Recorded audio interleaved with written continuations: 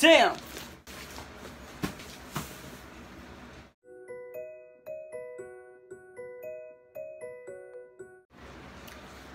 Hi y'all, welcome to my home.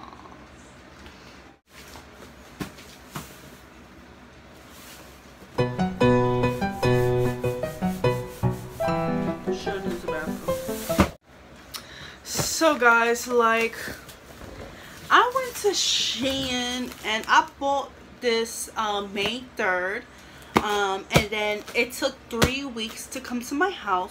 So I got it on May 21st and I think I bought 15 things and stuff like that. Um so but there's one item that here I'm gonna put that I actually gave it to my sister because it couldn't fit me. So I gave it to her and it fits her very perfectly. So um I've seen people get different packages um now some people get polymailers but I think it depends on how much stuff you buy I bought so much things that came in the box so um, I tried it on before but I realized that it doesn't fit me it does fit me but the thing about it is that um how I could say it uh, I need to lose 20 pounds. It could fit me. It's just that if I lose the extra 20 pounds, it will definitely fit me. So that's the thing. And I'm trying to lose weight anyways. So this is the first thing that I'm wearing.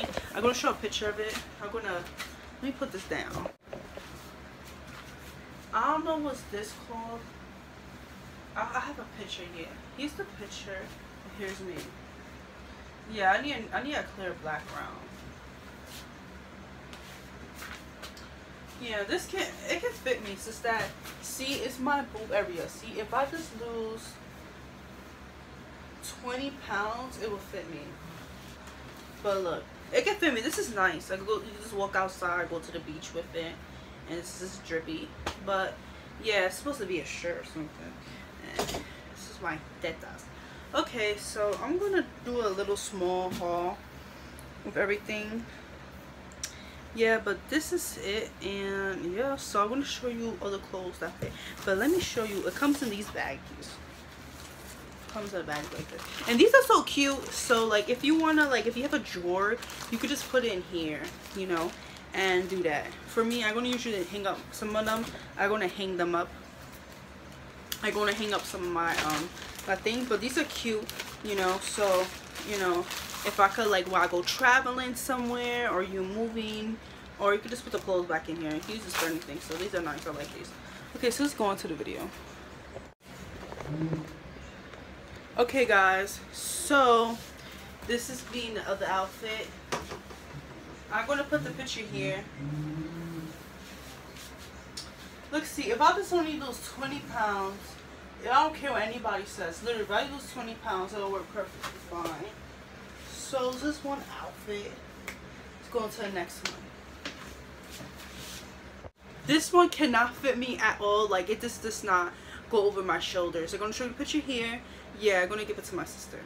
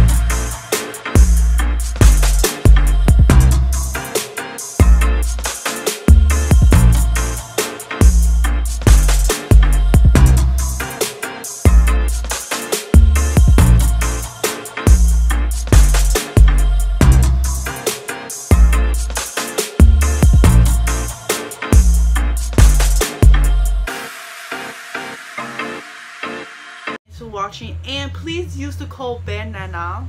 And this is her IG this is her Instagram. So please use it because honestly I just show that. I had using her code gave me a bigger discount than using the Shein's regular code. So that's my opinion. Just use um, regular people's code. We use Shein or use badnana because you get more percent of off than the regular code. So please do that and I hopefully to see y'all soon in the next video. So bye y'all Thank you.